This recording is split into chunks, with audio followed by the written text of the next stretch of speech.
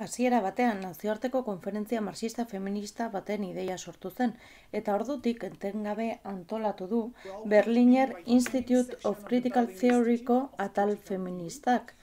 Frigga Haug, Alemaniako soziologo eta filosofoaren inguruan.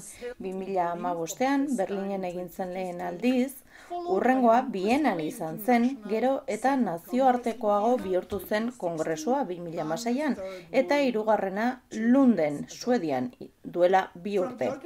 Antolakuntza batzordetik, pentsatu genuen, feminismo marxistak ikuspegi intersekzionala lantzen duten mugimendu guztietan parte hartu behar zuela, adibidez Black Lives Matter edo bizitzak beltzek inporta duten mugimenduarekin.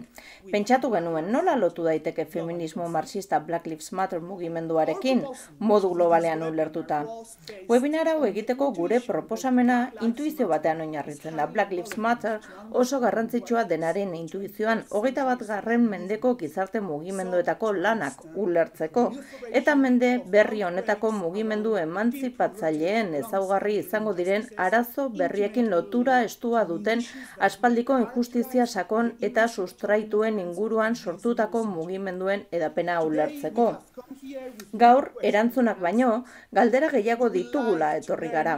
Jakin nahiko genuke, Black Lives Matter mugimenduak nola lotzen dituen antolakuntzako egitura eta diskurtso tradizionalak eta berriak nola politizatzen dituen Black Lives Mattersek bere kideak subjektu politiko berriak eratzeko, nola sortzen duen errealitate politikoa, praktika berrien eta tresna kontzeptualen bidez, kapitalismo patriarkalak eta kolonialak nola osatzen dituen, edo agian nola disolbatzen dituen bizitza beltzen esperientziak, genealogiak eta utopiak, aldi berean partikularra eta unibertsala den esperientzia honek, miseria, segurtasunik eza eta zaurgarritasun politikoa, edatzen dituenak, nola ahuldu edo banatzen dituen, edo aitzitik nola elkartzen dituen arrazismoaren erosotzearen finantzializazioaren eta misoginaren aurka borrokatzen dutenak, bai estatu batuen imperiotik kanpo, bai imperio barnean.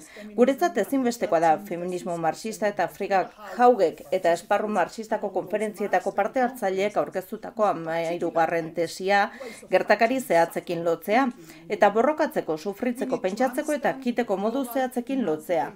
Ulertu behar dugu emantzipazio globala tokian tokiko emantzipazio prozesuen bidez bakarrik lor daitekeela.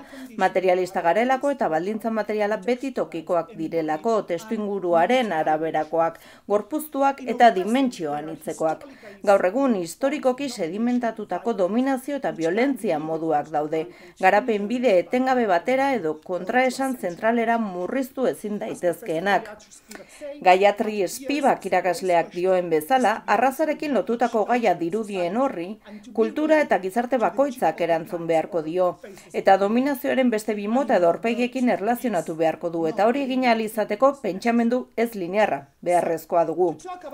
Beraz, honetaz guztia hitz egiteko, Gina Dent irakaslea eta Gaiatri Espibak irakaslea ditugu gurekin, eta zuria parekek aurkeztuko ditu emakume bikain hauek. Hori egin aurretik, egitura nolakoa izango dena azaldu nahi dut.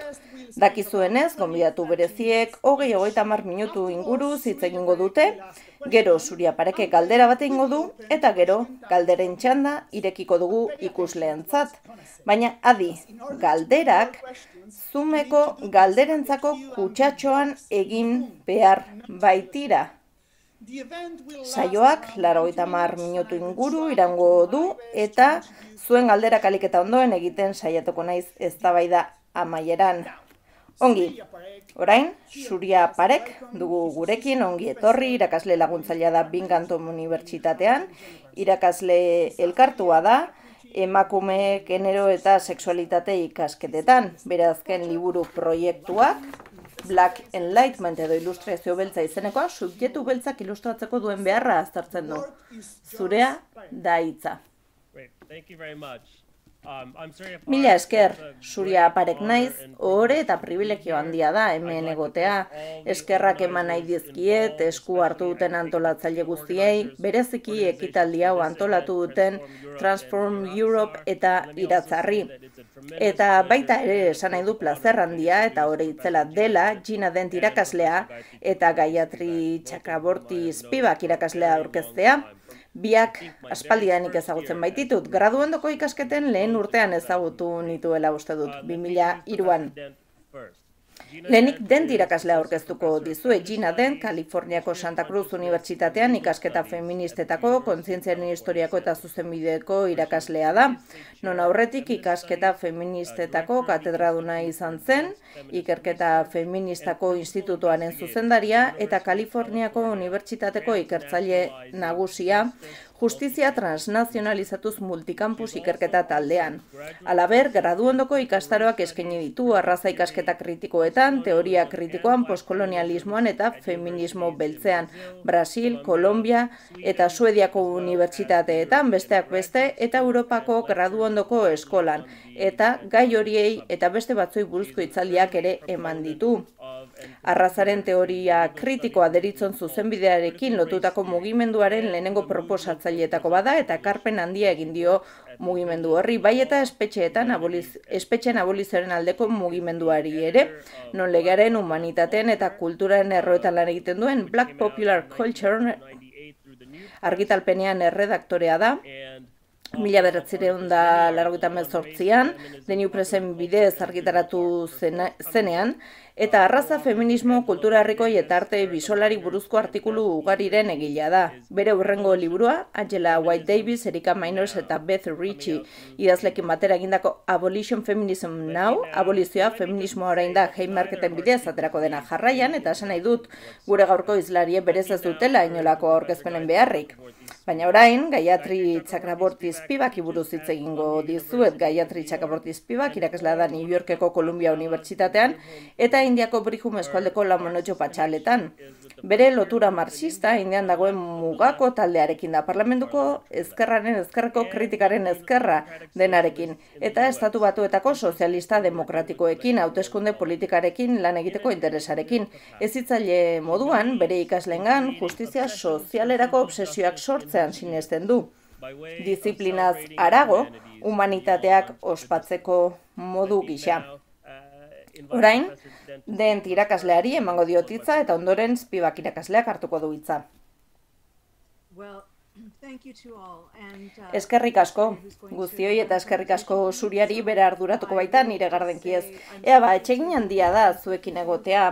Oaklanden nago, Kalifornian, goiza da hemen, uh, eta klima aldaketaren impactuak jasaten ari gara, uh, errepresio politikoa eta covid baina baita ere antolakuntzaren zentroa da. Gaur beraz, esperientzia horretatik hitz egingo diezuet. Zuria jarriko duzu mesedez lehenengo gardenkia, eskerrik asko?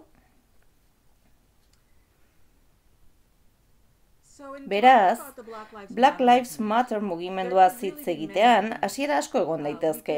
Espetxeen abolizioaren aldeko lanak, jendea une honetarako prestatzeko izan duen papera hitz egin genezake, baina BLM-ren historia kontatzen dugunean, hemendik aurrera horrela, eh, esango diot, normalean 2000 mairuan azten gara Alicia Garza, Opal Tometi eta Patrice Kulorzekin azten gara.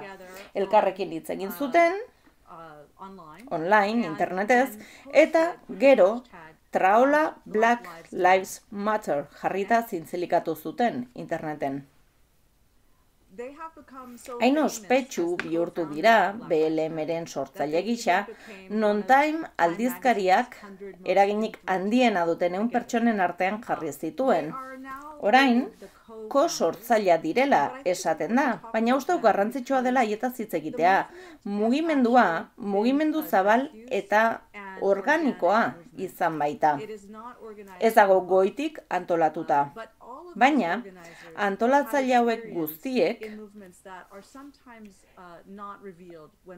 batzuetan Black Lives Matter mugimendua zari garenean azaltzen ez diren mugimenduen mugimenduetan esperientzia izan zuten.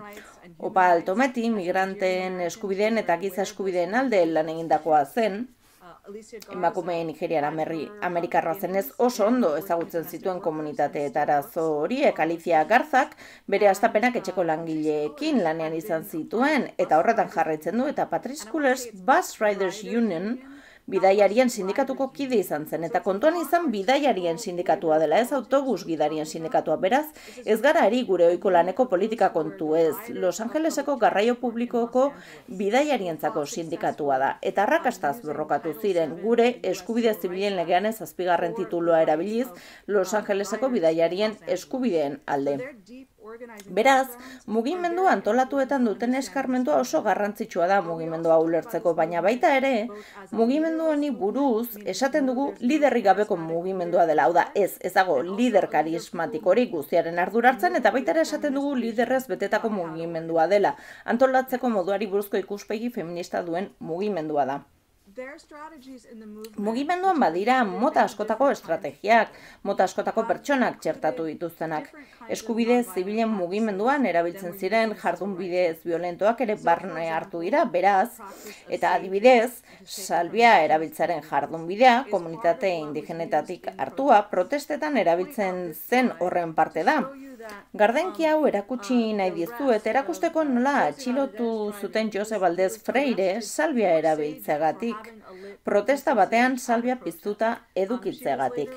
Geroago askatu egin zuten, baina honek erakusten du Black Lives Matterek mugimendu zabalagoarentzako testu ingurua sortu egin duela. Hau Trumpen kontrako manifestaldi batean delako eta ere berean erakusteko gaur egun jendean modu ezberdinetan antolatzen dela. Eta mugimendu beltz gisa ikusten badugu ere, ulertu behar dugu ezker osoaren mugimendu bat dela. Oaklandeko Black Lives Matterseko protesta baten gardenki bat da hau, nian egon nintzen, jende marroia bizitza beltzen aldi izeneko mugimenduak antolatu zuen batzuek diotenez kontra esankorra da, pentsatzea pertsona marroiak mugimendu beltzetik kanpo daudela. Zeren eta noski, Afrikako dia diasporan pentsatzen badugu, Latinoamerikari buruz ere ari gara. Eta hala ere, estatu batuetan makina bat arazo ditugu, arrazakeriarekin latinoen komunitatearen barruan, eta protesta honen helburua zen elkartasuna erakustea poliziaren eta estatuaren indarkeriak jasan dutenekiko. Eta George Floyd eta Brianna Taylorren argazkia ditugu hemen. Hona hemen, Oaklanden, Kalifornian egindako protesta horren beste argazki bat, atzean aldare ikus daiteke. 2000 mairutik ona, orduan inspiratu baitziren Alicia Garza, Opaltometi eta Patrice Colors, Trayvon Martinen hilketaren ondorioz, estatu batuetako egoera, beste era batera jorratzen hasteko, Ordutik ona ikusi dugu beste asko ere atera direla eta dena instituzionalki erasotzen hasi direla. Bereziki beltzak eta koloreko pertsonak kanpo uzten dituen historiarekin lotutako guztia. Hemen Hemen Brin Newsom ikus dezakegu. Ego Karolinako aga batean gora doala. Um, Bandera konfederatua kendu zuen leku horretatik. Esklabutzarekin lotutako gure iraganeko monumentuen kontra egintzen eta harretan dia erakarri zuen lehen ekintza zirraragarria izan zen hau.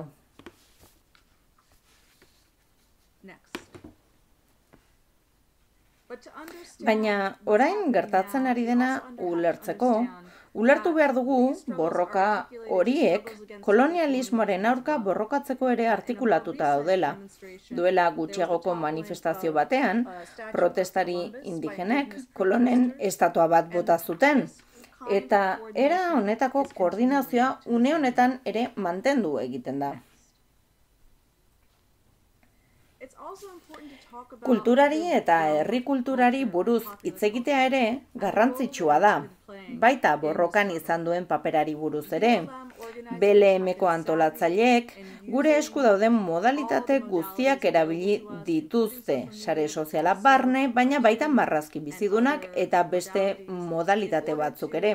Bereziki gaztei argi usteko zein izan daiteke euren zeregina borroka honetan. Hau, Bri Newsomek sortutako irudia da. Bere burua superheroin mota berri bat bezala erakosten du. Bri gogoratuko duzue Ego Karolinako etxe hartatik bandera konfederatua kendu zuen emakumea da.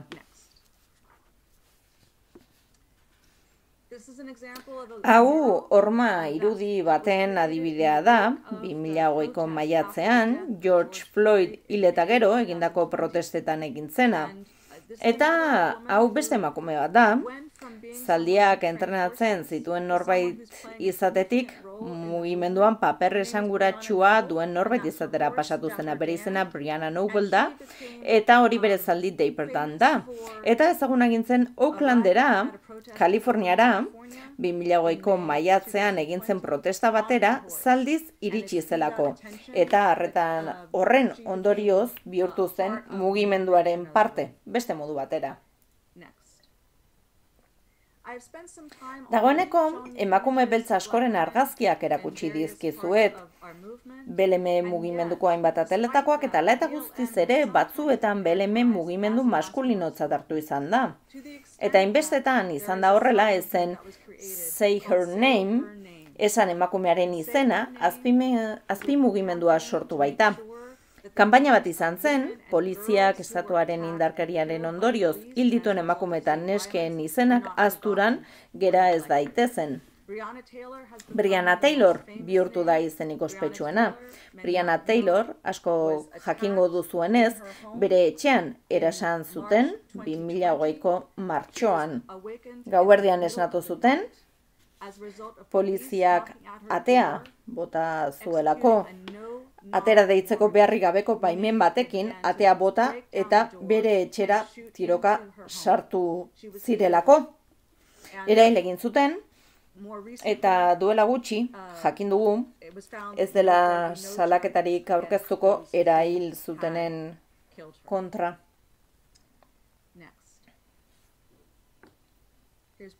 Hau ere, Brianna da, Artelan asko egin dira. Brianna Taylorren omenez, erresistentziaren ikono garrantzitsuenetako bat bihurtu da. Baina hemen beste izen batzuk ere badaude, batzuk duela gutxi ere heldakoak dira, eta beste batzuk kasu historikoetakoak dira, Eleanor Van Persona adibidez, New York iparraldean gertatu zen ura, mila betzereon dalaro eta marrekoan markadan, gure historiatik kanpo utzi dituzten, eta BLM berriro ikusarazen ari den emakumeen kasua dira poliziak ereilakoenak edo bestelako kalteren bat jasan zutenenak.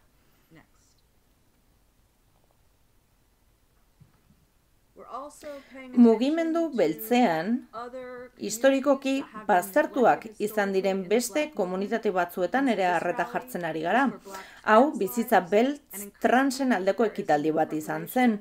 Eta gero eta gehiago ari dira sartzen queer eta trans arazoak mugimendu beltzean, historian lehen aldiz.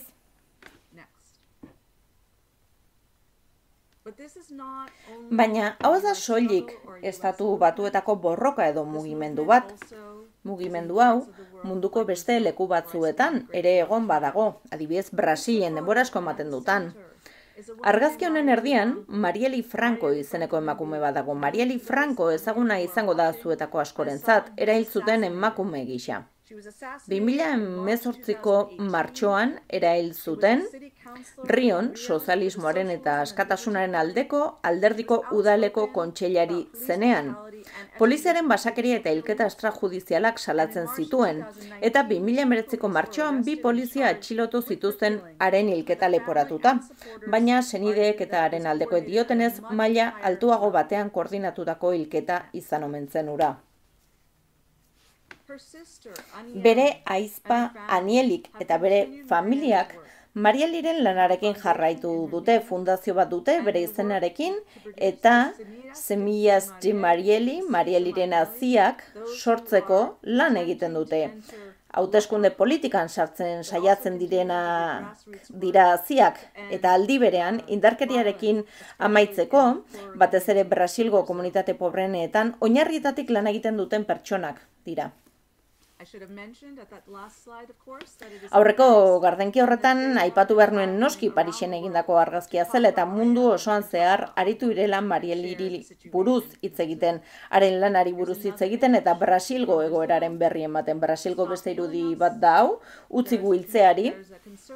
Alegin handia egiten ari dira, batez ere emakume beltzek bideratuta, erailketei erreparatzeko, batez ere Brasilgo ere murik pobrenetako fabeletan gertatzen direnei erreparatzeko.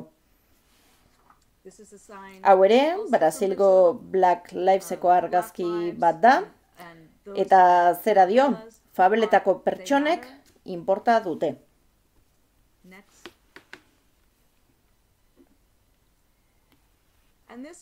Eta mugimendu hau, bizitza beltzen aldeko mugimendua, Black Lives Matterren mugimendu zabalagoa da.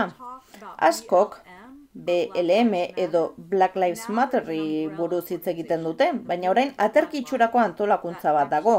Bizitza beltzen aldeko mugimendua, hainbat mailatan funtzionatzen duenarentzat, lanean ari dira, bai hauteskunde mailan, bai oinarrien mailan, baita nazioarteko zen ere lan egiten saiatzen dira, eta uste dut garrantzitsua dela. Naiz eta garai honetan ez dagoen mugimendu panafrikanistarik, e, garai honetan garrantzitsua da ulertzea, hori horrela izan arren diaspora afrikarren mugimendu horiek elkarri lotuta daudela. Duela gutxi Nigeriako egorari erreparatzen hasi gara SARS erakundea eta bere indarkeria agerian jarri baitira. Sartzek lapurreten aurkako pelotoi berezia esan nahi du. Eta horri dagokionez, bizitza beltzen aldeko mugimenduak hause jarri du bere webgunearen leku nagusian. Bizitza beltzen aldeko mugimenduak bere elkartasuna agertzen du Nigeriarrekiko, Nigeriako zarzek eta Nigeriako poliziak eragindako indarkeriaren eta basakeriaren aurka protestatzegatik erasoa jasaten ari baitira.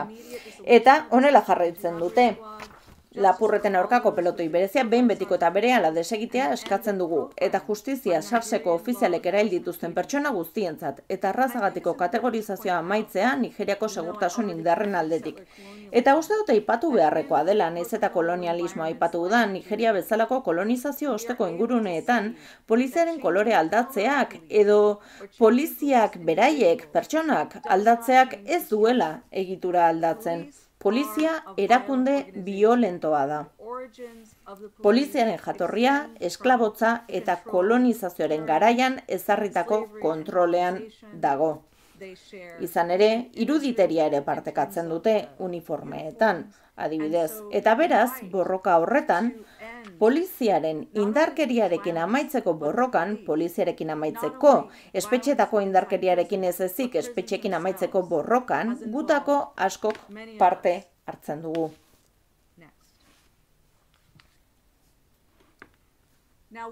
Orain, COVIDak eragindako egoeran murgilduta gaude, baina gure ekintzak ez dira gelditu eta ez dira geldituko. Eta horretaz, ba, hemen Kolombiako irudi bat ikus dezakegu denak elkarri lotuta gaude, are gehiago COVIDarekin borroka honetan. Hemen gaztelaniaz idatzita ikus dezakegu bizitza beltzek inporta dutela.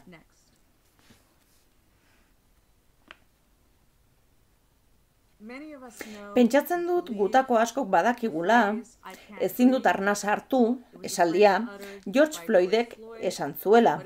Baina, poliziak urtetan zehar hildituen beste askok esandako esaldia ere bada. Poliziaren indarkeriaren eta espetxeratzearen aurkako mugimendu berri baterako dei bihurtu da. Bizitza beltzen aldeko mugimenduaren hauteskunde proiektuak izan ere, arnasketa legea izeneko zerbait aurkeztu du. Kontuan izan behar dugu ez dela, energiarekin lotuta kongresuan aurkeztu zen ekimenura garatu berri den lan bat da. gure bizitzako baldintzak aldatzeko polizia eta espetxei dagokienez eta segurtasunaren inguruan pentsatzeko modu berrietara itzultzeko.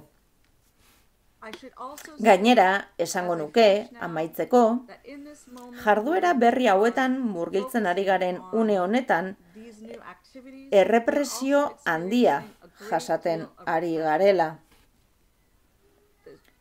Estatu batuetako presidenteak, eta ez du bere izena esango, agindu betearazle bat aurkeztu zuen 2008ko irailaren hogeita bian, arraza eta sexu estereotipo gatazkatsuei aurre egiteari buruz, koloreri bere izen ez duen ikuspegi individualista bat mobilizatzen duena, eta arrazaren teoria kritikoaren eremu akademikoa xede duena, bai eta anistasunaren eta inklusioaren aldeko praktika instituzionalak ere.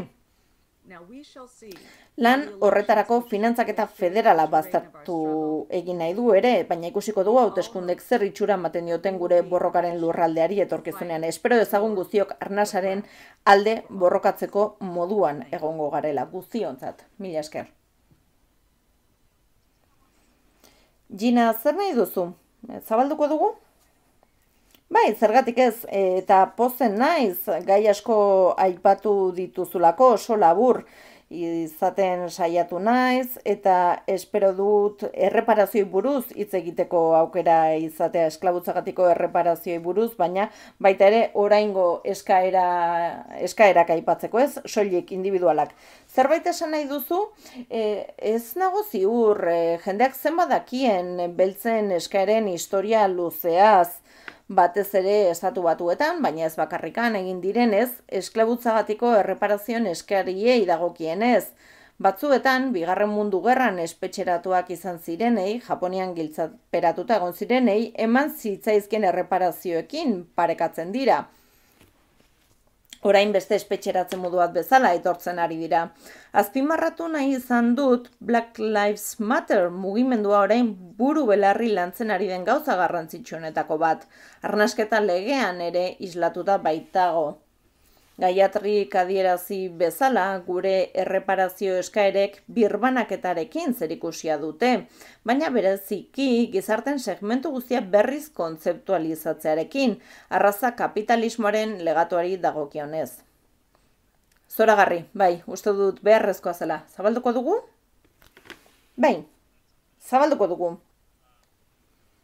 Galdera labor bat egingo dizuet, eta baita ere, ikuslek egindako beste bi galdera, sartuko ditut, nik bakarrik eginez ezadan. Biei eskatu nahi dizuet, konbidatu nahi zaituztet, herritartasunari buruz hitz egitera. Ahots publikoak aldarrikatzari dagokionez, artearen bidez, edo aktivismoaren bidez, edo irakaskuntzaren bidez. Eta aipatu nahi nuen, benetan iruditzen zaidala biek zuen ikasleengan justizia sozialarekiko obsesio bat sortzeko obsesioa partekatzen duzuela. Ikasleak modu oso orokorrean ulertuta, beraz, herritartasunaz gehiago, hitz egiteko gonbidapen bat baino ez da. Badaude ere beste bi galdera, eta irakurri egingo ditut, Alain Albarezek galdetzen du dentirakasleak hitz egin du Brasilgo Mariela Francoren borrokaz eta azaldu du nola orain badagoen nolabaiteko BLM bat portugesera itzulita. Baina Francoren borroka BLMren nazioarteko ospea baina lehenago existitzen zen eta orain bere borroka nazioarteko mugimendu horrekin lotzen da. Baldago arrisku bat e, dinamika kolonial bat sortzeko mugimendu hauetan. Eta baita ere, e, ingelesak akademian egindako kolonizazioaren erreplika bat sor daiteke. Eta batez ere, e, ikusita, e, nola orain ikusten ari garen akab, edo polizia guztiak, abroiak guztiak e, dioten grafiti horiek. Eta gero badago beste galdera bat, mona nahi zerrena, eta galdetzen du nolakoak dira arrazaren teoria kritikoaren eta aboliziaren eta Black Lives Matter mugimenduaren arteko lotura eta harreman diskurtsibo eta ideologikoak. Barkatu, azkena errepikatuko duzu? Bai, monak nahi zerren galdera bat da, nolakoak dira arrazaren teoria kritikoaren eta abolizioaren eta Black Lives Matter mugimenduaren arteko lotura eta harreman diskurtsibo eta ideologikoak. Ongi. Eskerrik asko. Nora hasiko da? Zuzu hasi. Ongi. Agian e, gauza bat ez dut ongia azaldu oso azkar e, egin dudalako aurkezpena. Brasili buruz, egia da, Marieli Frankoren lana, etzela hasi BLM dela eta dena den, BLM aterki moduko bat bihurtu da, eta barne hartzen ditu 2000 amairu aurretik munduko leku askotan egin diren lan asko. Aurretik, zeuden lan asko barne hartzen ditu eta lotuta dago munduko leku askotako mugimendu organikoekin.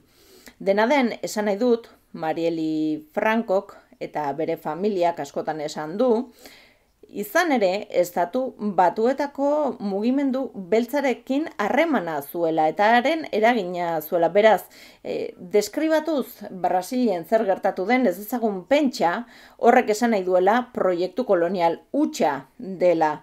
Azken batean, helburua delako ikusarazea zer lotura dauden feminista beltzen artean. Hamarkada askotan egon dira lotura horiek gainera. Bai, barkatu momentu batean, etetea, feminismo beltzaren, ezkerreko e, mugimendu beltzaren arteko lotura oso sendoa egon izan da estatu batuen eta Brasilen artean. Eta hori Brasilgo mugimenduek ere aitortu egin dute. Beraz, e, horrekin ere zure jarrera defendatu nahi nuen. Jarraitu lasai. Bai, batzuetan Brasilen irakasten dut eta batzuetan hasteko estatu batu arroi gonbidatzen gaituzte. Eta modu oso sistematikoan landu behar dugu jakintza estatu batuetatik sortzen denaren ideia hori.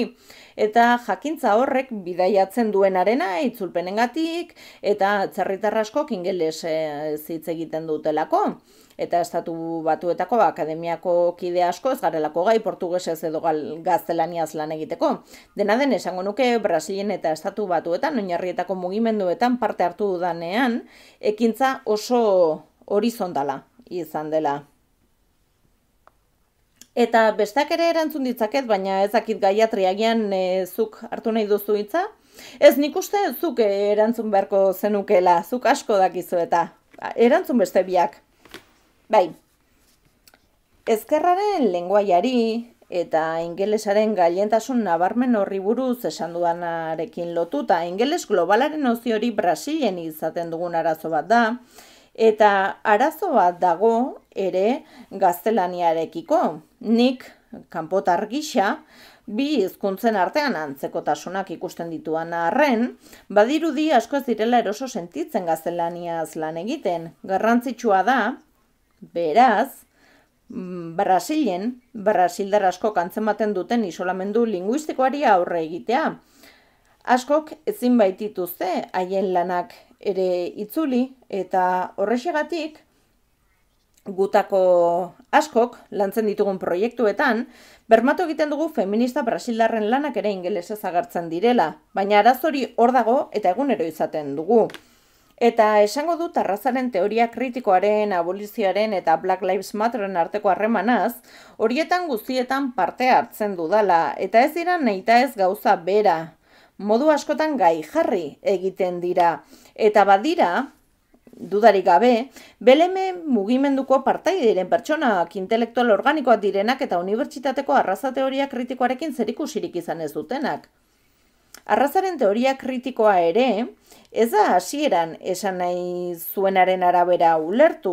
Izan ere, larogeiko eta larogeita marreko amarkadetan trebatu ginen ontzat, zuzenbideko mugimenduarekin zuen zerikusia legea irakurtzeko eta ulertzeko estrategia interpretatibo berriak izaten laguntzeko diseinatutako mugimendu oso zehatza zen.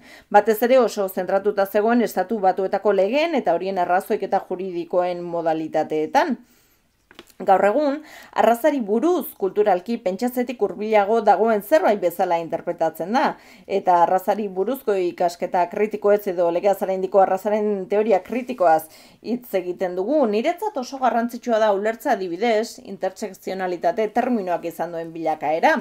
Zarritan zerbait identitarioa esan nahi du, benetan irakurketa jarraibide garrantzitsu bat bada ere. Feminismo beltzean, baina ez e, feminismo beltzean esklusiboki e, rotuta ez egoena, izan ere, Kimberly Crenshawkek, intersekzionalitatearen beharra zuen arazoari buruz hitz egiteko erabili zuen lehen adibidea Los Angelesen zegoen ostatuetako arazoaren zen.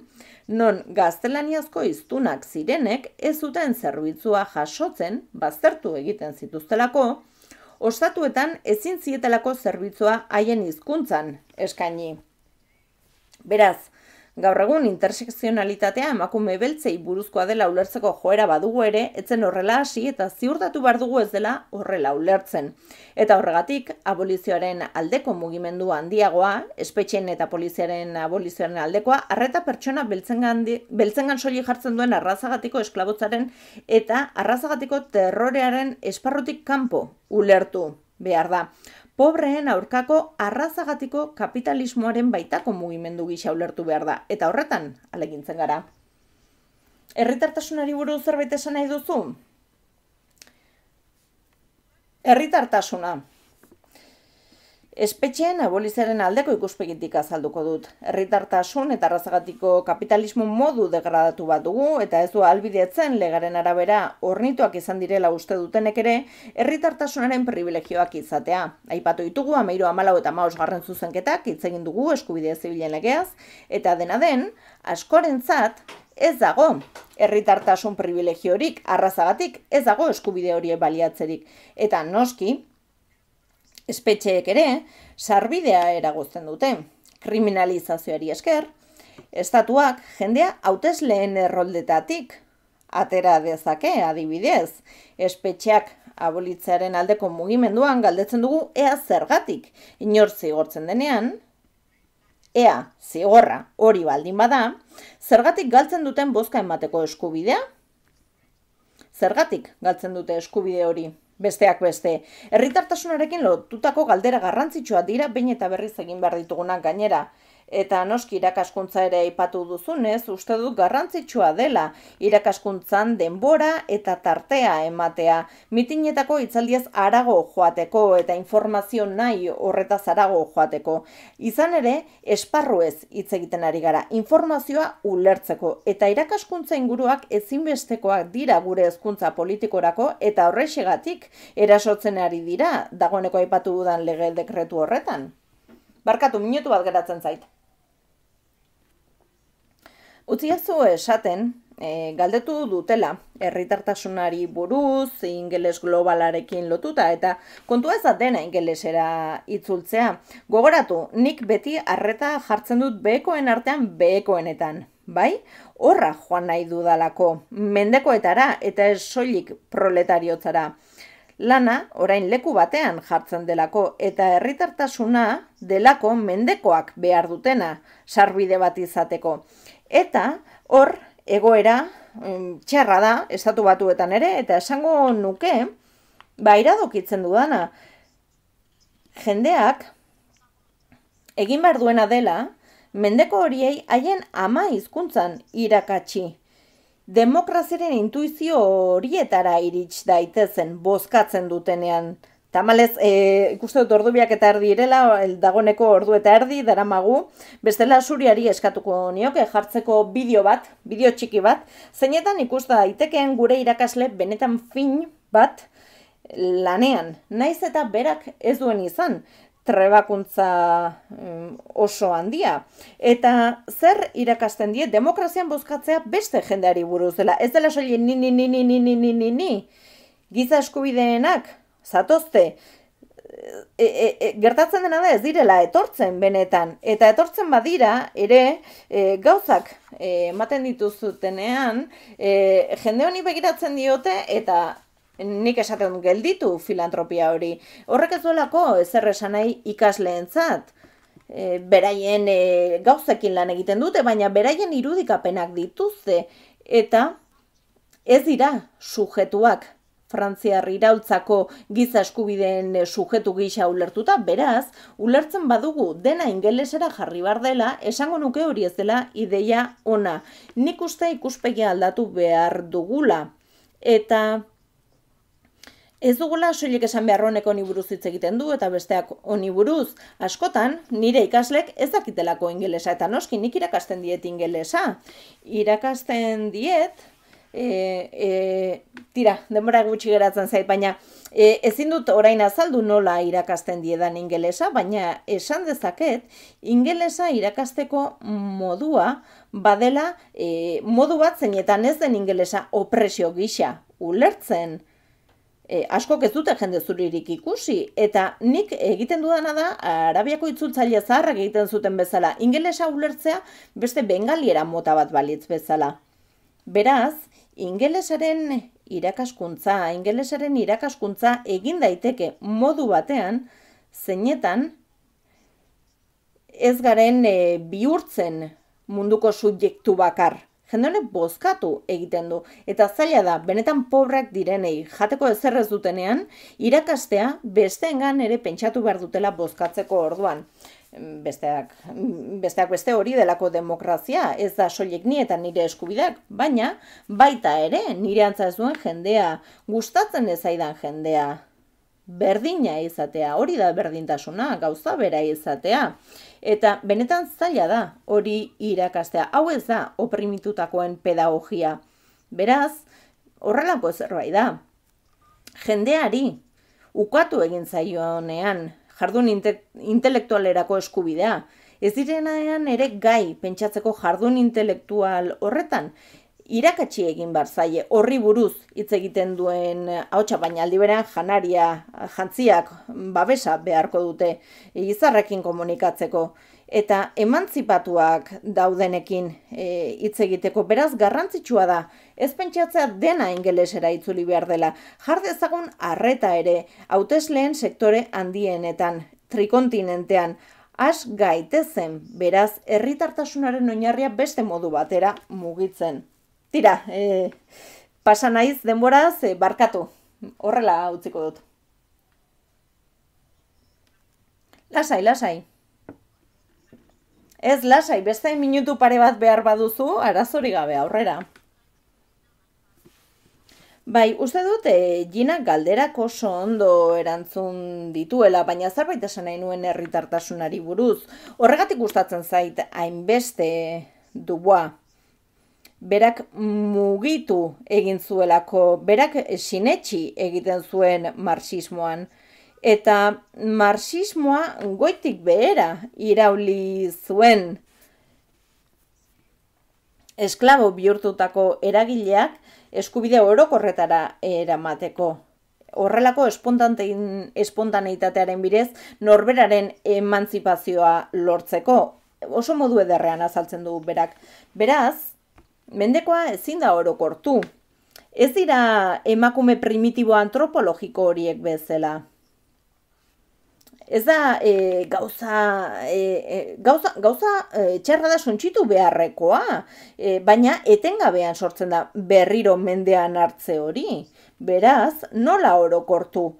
Benetako herritartasunaren zirkuitoan sartuz mendekoak eta lan hori benetan zaila da oposizio handia dagoelako, estatuen aldetik, gobernuen aldetik.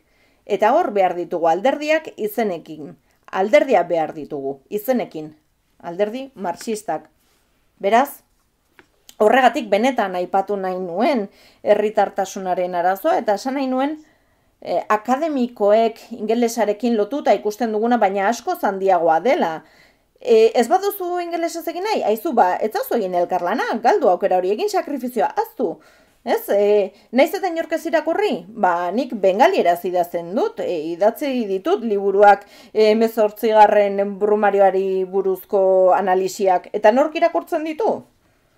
Ba, ba, bueno, me, bidali nuen bat etiopiara, eta itzuliko dut, ingelesez e, hitz egiteko horri buruz, ba ez esanien, bueno, emetxe duzue, eta eta hitz egingo dugu, elkartzen garenean.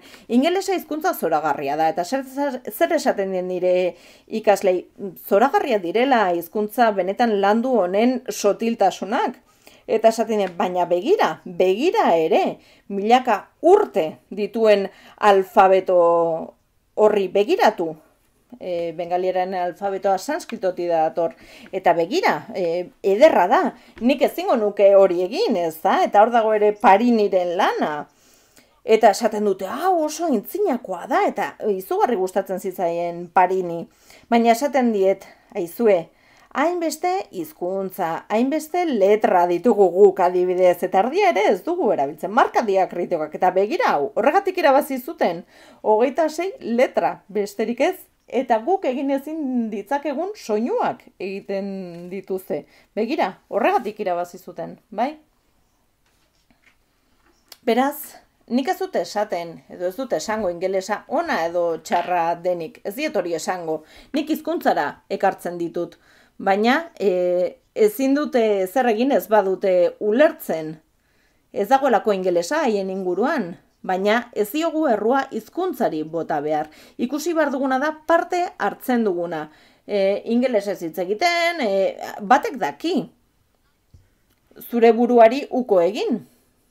E, hori, bide hori borroka bat egin nahi baduzu zentzu horretan. Ez ingelesaren errua. Oso hizkuntza erosoa da, eta niri gustatzen zait ingelesa, baina mai hizkuntza ere gustatzen zaidalako. Ulertzen didazue?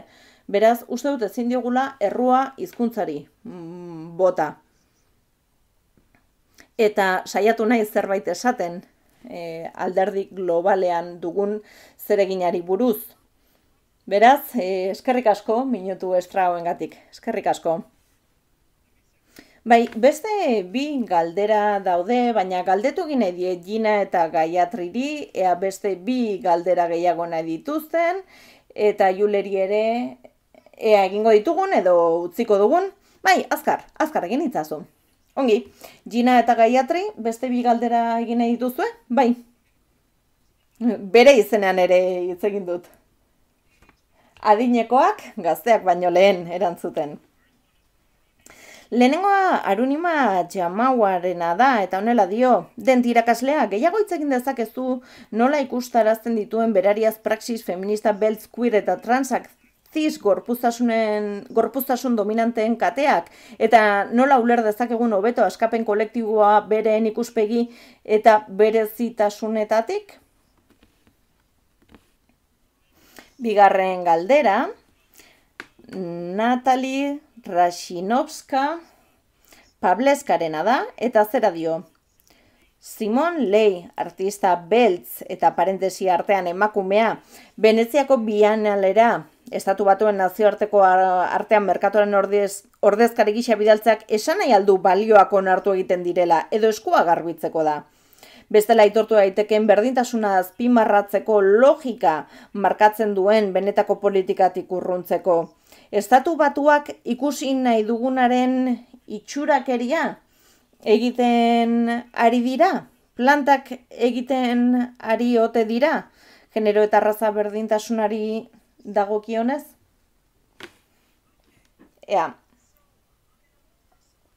lehenengoari buruz, espero dut argituko nuela gaur egun sarritan, aktivismo beltz queer eta trans gisa etortzen ez den hori dela gaur egun gertatzen ari denaren oinarrian dagoena. Guztiaren oinarrian dagoena. Naiz eta egun gertatzen ari den gauza asko agian ez duten hori agerian jartzen. Agian ez digute hori ikusten usten. Garrantzitsua deritzot aipatzea, ez dudala ongi ulertzen ziz gorpuzasunen zati hori, Iruditu zain nola bait, kartzelaratzen duen zerbait bezala karakterizatu dela nola esan. Esango nuke, nire esperientzia zenez, nik feminista beltz queer gisa hitz egingo dudala.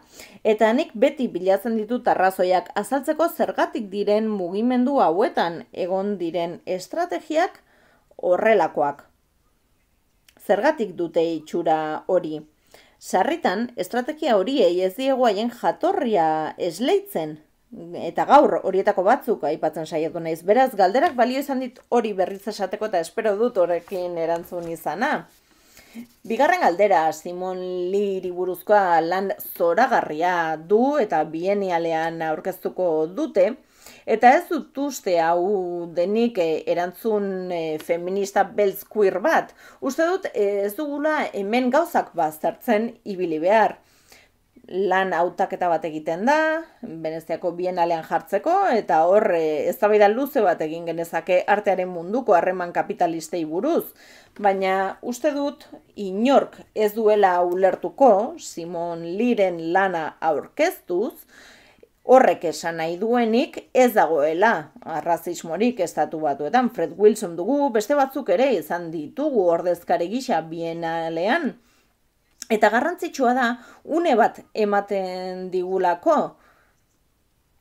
beste lanaren bitartez, beste lanak egiteko Simon Lee eta beste langile kultural askok mezua edatzen laguntzen digute. Eta lanari laguntzen diote, eramaten dutelako bestela existituko etzen lekuetara eta bisualtasunaren alderdi garrantzitsuak ere lantzen dituzte. Nola irudikatzen dugu askatasuna, nola irudikatzen dugu bestelako mundu bat. Beraz, pozen hau hori ikusteak, eta e, pozen nahi ere aukera gisa erabili dezakegulako bestela eztabaidatzen ez diren gai buruz hitz egiteko. Bai, gauza bat besterik ez. Ni irrogeiko amarkadako bisexuala naiz, eta horrek ez du ezer esan nahi, irrogeiko amarkadan erresa zelako. Badakizu ez da, gure gorputzak, gugara. Beraz, e, esango nuke, transsubjektuari buruz,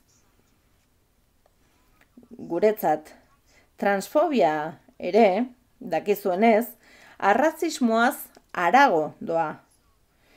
Beraz, egin batean, ben diagrama oso garrantzitsua bihurtu da. Onartzea, trans subjektua benetan ireki egin duela eremu bat demokraziaren subjektua pentsatzeko moduari buruz hor eremu bat zabaldu du. Eta beste modu batera pentsa dezakegu. Eta ez frantzer iraultzak oinordetzan utzi ziguen moduaren arabera. Eta ez du zer ikusirik alderarekin eta horregatik esan dut eh, esan dudanan niri buruz baina iruditzen zait asko dugula ikasteko e, transsubjektuari buruz eta uste dut oso garrantzitsua dela etorkizunera begira ere. Indian maila batean ez dagoen gaizki honi dagokionez, baina oroar erresistentzia benetan handia dago transsubjektua aitortzeko horretarako ere. Eta iruditzen zait hori e, gertatzen dela arrazismoa edo klasismoa baino gauza handiagoa delako generoaren gaiak eraketa sozialak eusten ditu. Eta nonbait ere esan izan dut ezkontza bera badela gizarte segurtasuneko egitura bat, nolabait jatorrizko kuirtasun batean existitzen dena. Eta, agian, klase egituren bitartez, e, aitortzari dagokionez, e, kriminalizazioari dagokionez, uste dut e, irudi eder bat erakusten duela, tamalez, e, Greziako filosofoena, eta bar hori ere ongi gorde da, ezta? Beraz, e, esango nuke, asko dugula ikasteko, adibidez ni bezalako adineko emakume batek, asko du horri buruz ikasteko feminismo akademikoaren lehenengo olatuetakoa naizelako. Nire ama ere aktivista ospetsu izan zen, baina uste dut garrantzitsua dela, ez adin berriro ere arazo identitario bihurtu. Eta artearen kontu horri dagokionez zurekin ados nago erabat. Eta berriro ere esateko, ez ezaguna aztu, badirudielako beti arreta filosofia analitikoan jartzen dugula, ez diogu gure buruari galdatzen. Eta ni saiatzen naiz ikusten maila batean, aizu, pertsona hauek o, aitortzen aldute zerbait arte bezala, Beraiek ere, gauza figuratibo zoragarriak sortzen dituzte, baina hori ez da definitzen e, arte gisa komatxoen artean, ez da figuratiboa. Eta barrioa ekartzen ari naiz e, museoera, horretaz ari naiz, ez da? Nola egiten da? Eta horretan e, parte hartu izan dut, aspaldi danit, eta horrek ez du zer ikusirik Veneziako bienalarekin. Eta arro esan dezaket, nik e, ezetz esan niela lau bider ask eskatu zigutelako gure burua bestea bezala definitzeko. Eta e, ezetz esatea ere bada zerbait. Nik ez dut bestearen, ikus daiteken bestearen zeinu hori onartuko. Ulertzen digazue? Beraz, hori ere aipatu nahi nuen. Eta noski, ados nago zurekin, inbertsio bat da e, museoetako praktiketan e, e, argitaletxeetan egiten den lana inbertsio bat da, baina e, guk ere arguiatu dezakegu ez da, eta hori ere aipatu behar dago. Zuria ezakit zerbait esan nahi duzun? Zerbait esan nahi duzu? Bai, e, utzi da zue eskerrak ematen, bioi benetan aberasgarria izan da, zoragarria izan da zuei entzutea, bai itzaldietan bai ez eta berriro ere eskerrak antolatzaileei, e, biei, e, placer handia izan da. Gina, eskerrik asko etortzagatik, bai eskerrik asko gonbidapenaren gatik, igande zoragarria izan da, hau, igande goi zoragarria. Tira, ba, mila, mila esker guztio, Gina Dent, Gaiatriz Pibak eta Zuria Parek, placer handia izan da zuei entzutea. Eta galdera, e, ziurgabetasun asko daude, zer esan nahi du jazarpenak, zer da jazarpen egitura bat, zer da konexioa edo lotura, nola ulertu beharko genituzke intersezionalitatea edo herritartasuna, besteak beste. Dena den, asko ikasi dugu, zuen gandik, baita ere izan ditugun beste izlari bat zuen gandik, eta ikasi duguna da, gure historia propioa egiten dugula, batzuek besteek baino gehiago, eta argi dago konpromiso kolektibo bat behar dugula. Helburu berberen alde edo antzekoen alde borroka egiten dugun alde, baditugolako ere estrategia anitzak eta divergenteak eta koexistitzen ikasi behar dugu autokritika handiagoa egin behar dugu, espiebakek esan duen bezala, erantzukizun historikoa gure gain hartu behar dugu, hemen ere batzuek beste baino gehiago, baina argi dago, ekintzarako, hausnarketarako garaia dela, ahal bada, biak aldi berean egin behar direla, modu kolektiboan, pasioz, eta erabakitasunez dena aldatzeko. Beraz, ekitaldi zoragarria amaitzeko, gogoan izan, urrengo webinarra, friga jaugekin izango dela, abenduarean bian, arratsaldeko zeiretan, Europa zentraleko ordutegian. Eta gogoratu, itzordua duzuela, laugarren nazioarteko konferentzia marxista feministan 2008 bateko azaroan. Bilbon edo online ez dakigu ikusiko dugu zer gertatzen den urte honetan, baina bitartean zaindu, zaindu ere maite dituzuenak, Eta mila esker berriro ere, gabona pasa. Eskerrik asko.